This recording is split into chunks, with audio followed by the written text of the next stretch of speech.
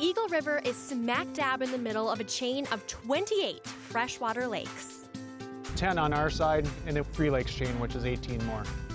Certain times of year, it gets busy on one lake. You can go off onto another lake where it's a little bit quieter, depending on what you want to do. If you want to tube or ski, or if you just want to putt and enjoy the scenery. There are plenty of recreational opportunities, including world class fishing in Eagle River.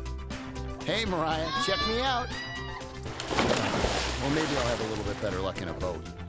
Eric, Eagle River also has an event for the average Joe like me.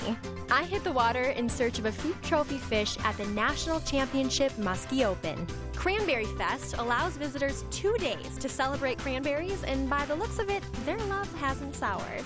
Saturday of Cranberry Fest is the biggest day. Drink some cranberry beer, get your cranberry craisins, everything. The popular mode of winter travel is pretty obvious. It's the activity that helps designate Eagle River as the snowmobile capital of the world. You know, unless you're here, Mariah, it's hard to describe all the speed and energy you can take in here at the Derby. That's the Amsoil World Championship Snowmobile Derby. It's the biggest, largest, oldest, oldest snowmobile race in the world.